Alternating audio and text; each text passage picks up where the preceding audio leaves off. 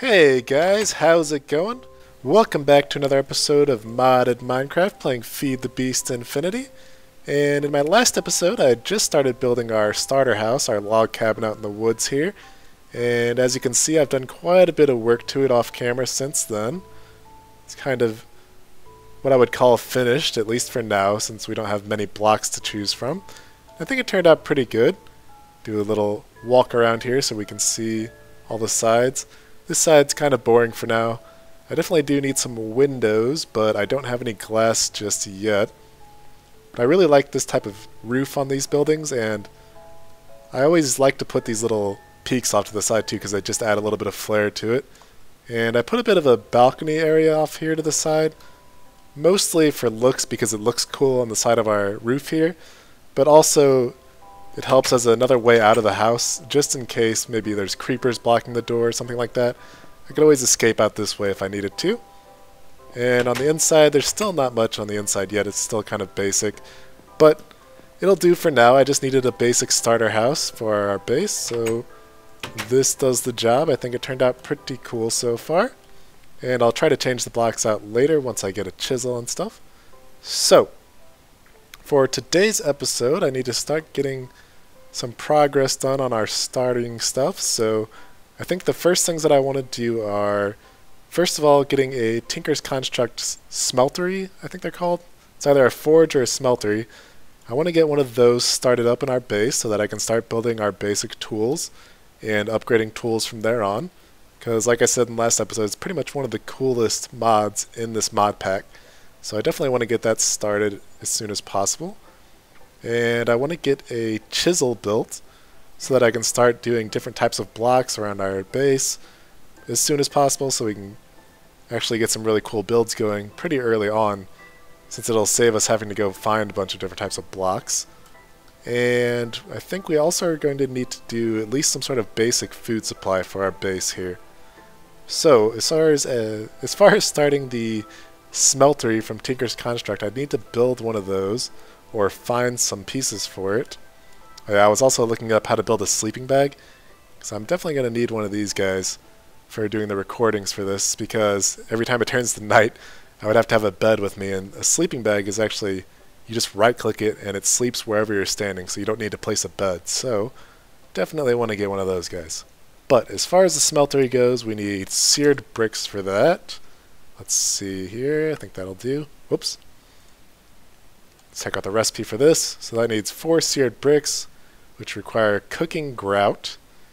And grout is clay and sand and gravel. So it requires quite a bit of gathering, but first of all I want to check, because I know that we had that village in the last episode down south, where you can see it on the map right here, this one right here, that had quite a few Tinker's Construct buildings in it, and there's a chance that there will be a smeltery in those villages as well. So I want to go check that out first to see if there's any seared bricks in a smeltery over there so I can collect those blocks and use them to build our smeltery at our base, or at least a start to our smeltery. So I'm going to head over there and see you guys there.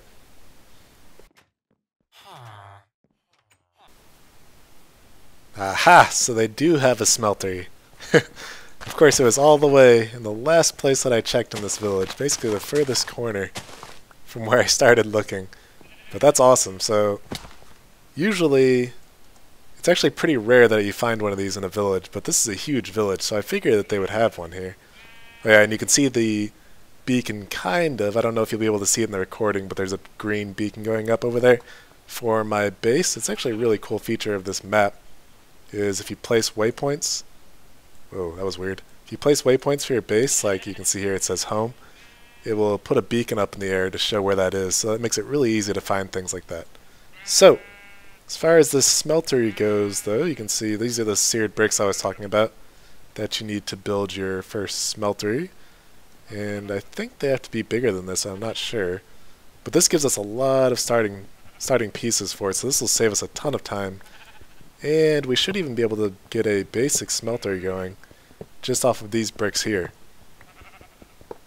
Although I'm not sure if you can do a 2x2 like this one is. Is this 3x3 or 2x2? Well, that is 3x3. Okay. So yeah, it needs to be 3x3 in the bottom, and then you have to surround it with seared bricks also. And then you have to fuel these generally with lava. So obviously that's going to be kind of tricky since we just started our world. Gonna have to go get a bucket together and find some lava once we get this built up over at our base. And what you do with these things is you actually put ores into them, like you can put iron ore into it and it will give you two iron ingots per iron ore. So it actually doubles your ores, which is another amazing part about this mod and this actual the smeltery here. And you can use these casting tables and the casting basins to actually pour the like molten iron out and make ingots or make iron blocks and it just saves a ton of time on doing basically what you would normally do in a furnace and it doubles your ore production which is really good. So I'm just going to go ahead and collect the rest of this smeltery here, try to get it back to our base. And then I guess I'm going to have to go find some iron and... Well, I needed iron anyway for our chisel, but I need an iron bucket now so I can go get some lava to fuel this thing. So that is the one catch. You can't use coal like you would on a furnace. You do have to fill it with lava, and it uses that over time to smelt whatever you put into the smeltery. And another cool thing you can do with this is make actually like unique types of metals. If you mix two different types of metals, it will turn them into different types of metals. And most of those things can be found on the wiki or in the book that it gives you in the beginning, which I think is over at my base. So if you want to find those out, you can find those there. But this is a really good help. This will help us get our smeltery started pretty much right away instead of going and collecting all of that clay and sand and gravel. And yeah, and you can see it shows exactly where my home is, and if I look at it, it will say the distance to it and everything. It's a really cool feature. Great part of a mod pack, and another thing that would be awesome to have in vanilla Minecraft. So, see you guys back at the base. Alright, so I'm back at our cabin here, and I forgot to show you guys in the last one, but I did get everything together that I needed for our sleeping bag here. And again, that just works like a bed, so anytime that you walk around, you can just right click it. It will put you down on the ground and sleep the night off. And I don't think it affects where your spawning location is. I think you still spawn in the last bed that you slept in, but if you can see I could right click it and it acts like I was trying to right click a bed.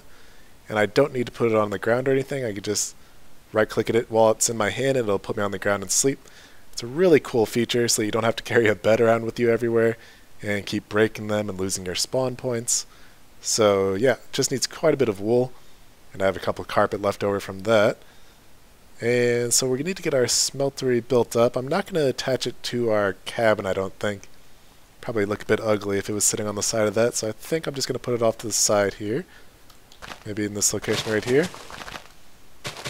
And also, since the last episode, I did a bit of an upgrade to my computer because I was noticing quite a bit of lag. What do we have here? We have carrot seeds and mandrake seeds. Huh. So I guess, why would you need carrot seeds if you can just plant carrots? Huh. I guess I'll have to check that out later on to see if that actually is better than just planting normal carrots here.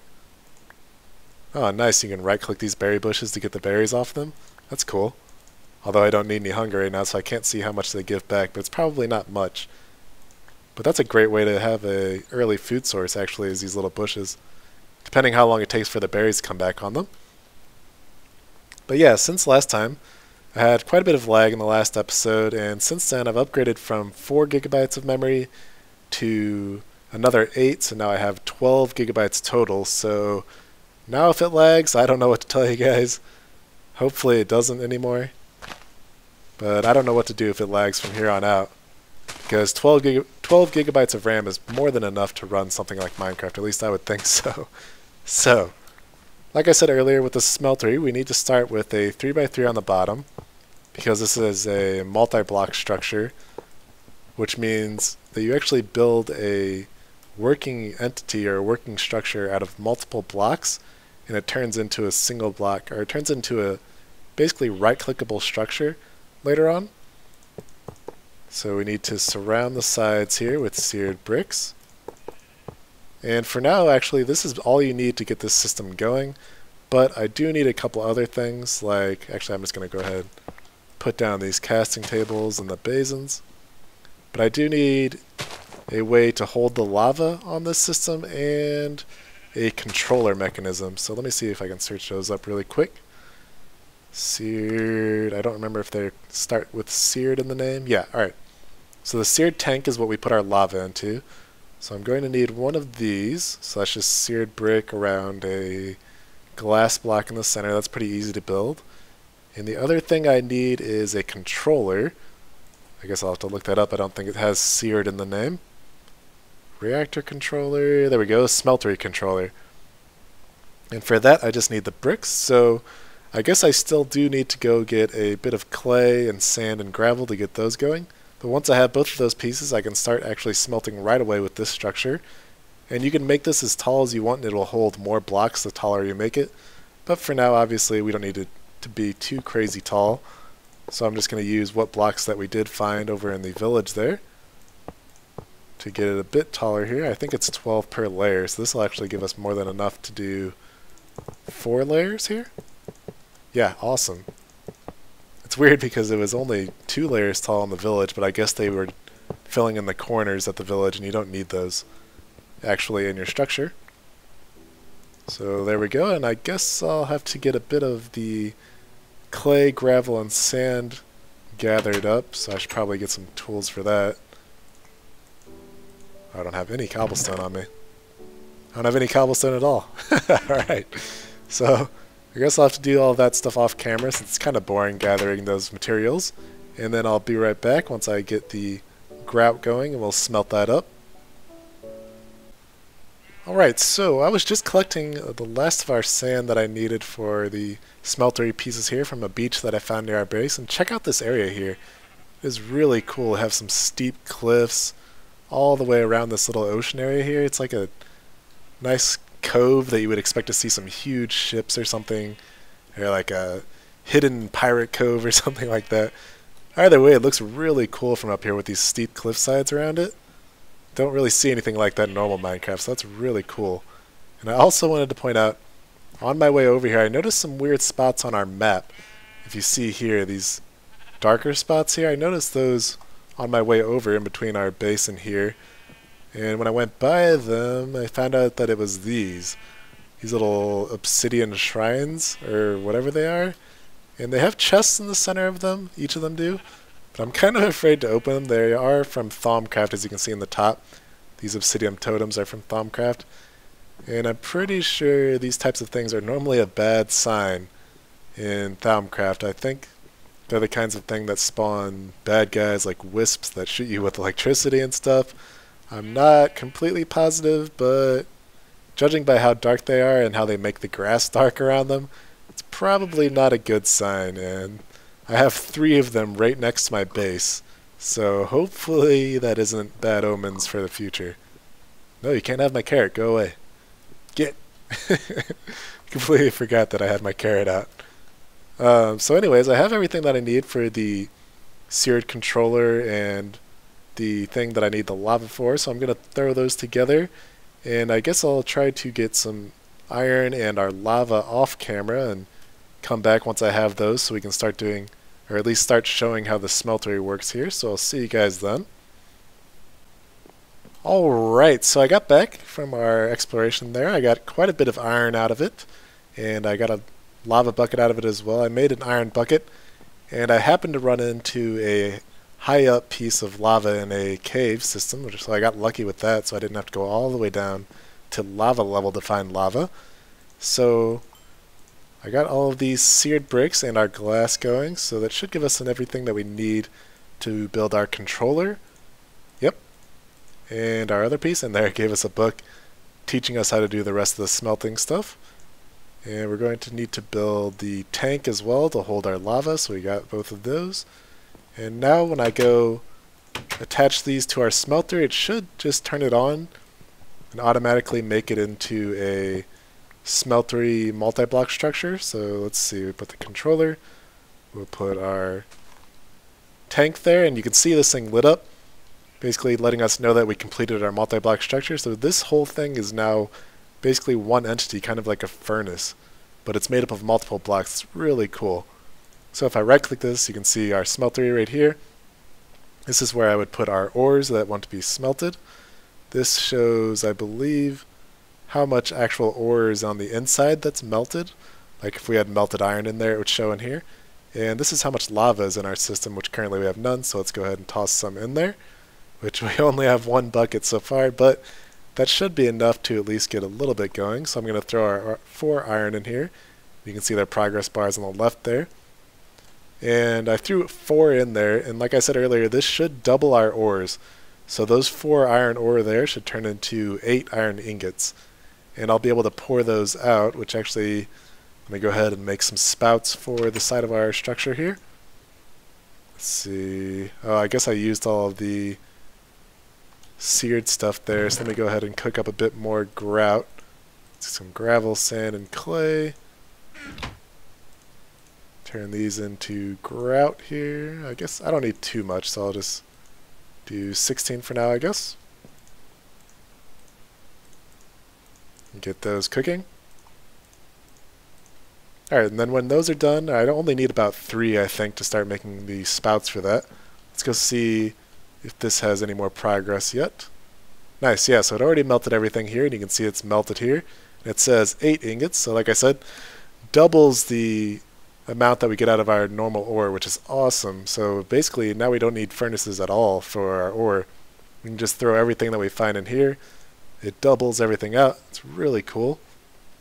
Although I don't have enough just yet to pour out a full block. I only have enough to pour out ingots. And I can't do that just yet either until I get gold, and I'll show you why in just a second here after I grab these. I'm just going to make a couple spouts for the side of our smeltery. And these are what allow you to actually pour the molten metals out of the side. So I'm going to put one above each of these here. And if it was ready, which it's not because I don't have enough iron in there just yet, I could right click these and it would pour it out into this. So how these work though is you can place things like this iron pickaxe head that I found in our village earlier. I could place this here and I could pour gold over it and it would basically make a mold there of that iron pickaxe head and I could pull it out and it would just have the mold left behind made out of gold. And then I could pour whatever I wanted into that and make as many pickaxe heads as I wanted. So it's really cool.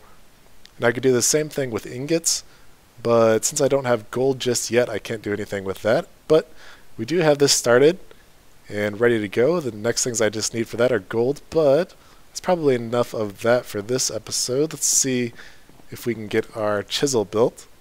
Yep, we still have plenty of iron left over. There we go. So again, I wanted to show this in our first episode, but we didn't have the iron for it. But if I just right-click this chisel, it should open a menu. Yep, there we go. And if I put these blocks in here, yeah, you can see we have a ton of options here. It looks like at least 16 options that I can turn each of these spruce things into, whichever type of texture that I want and I can put that. So like say I wanted these ones here I can just click that. It uses a little bit of our chisel and now I have 12 of this type of texture that I could use on our base here if I wanted. And if I didn't like that one I could just toss it back in grab another one here.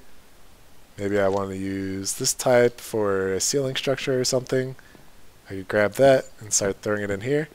It's really cool. So like I said in the first episode it basically allows us to turn any block into, you know, at least with this one, up to 15 other different types of textures without needing to go gather a bunch of other blocks. So it's really cool. And I'll be using that for sure to, I guess I should sleep off the night here. But I'm going to be de definitely using that a lot, especially for building our base off the beginning here, since I won't need to gather a bunch of materials for it. I can just use basic things like spruce and cobblestone Let's see if I have any cobblestone I could throw in there. Yeah, look at all these options just for cobblestone, including dyed versions of them of pretty much every color, and I don't need to go collect the dyes for it. All I have to do is put it in the chisel, and I automatically have that type of block. It's so cool. This is another one of the, probably one of the top five coolest mods in modded Minecraft, just because the amount of building options that it gives you. I could toss that back in, and I can get a bunch of different types of brick structures that I, if I wanted as well without having to go make stone bricks or anything like that, so that's really cool. That'll definitely help us build up our base from the beginning here. Although I don't think I have that much time to tear this whole thing down and rebuild it. I might end up doing quite a bit of that off camera again by using the chisel to get a couple different textures added into our base here. And let's see, the last thing that I want to do in this episode is get a bit of food started, so I guess I will get started on that before we finish the episode. So I grabbed a couple of different types of seeds out of our base that we have so far to start planting, just to at least get some basic food started here. Hopefully I'll be able to plant each of them so we can see what they do. So I wanted to see if carrot seeds, and I also have potato seeds here, I want to see if each of those actually are more productive than using normal carrots, because I know you can just right-click carrots if you want to plant those, but let's find out if those, so let's see, the carrots are over here, I guess I'll plant some normal carrots on this side here. We'll get some wheat. So I want to see if the potatoes and carrots, based on those seeds, are actually more productive than just normally planting them, or maybe they're just in the game so that it's not as hard to find potatoes and carrots, since you generally have to find those in a base. Oh, cool. And I also wanted to test here if we could use the strawberries to make seeds and plant those, and it seems like we can. So I'm definitely going to get some of those guys planted as well, since pretty sure we can use those to make juices. Let's see here.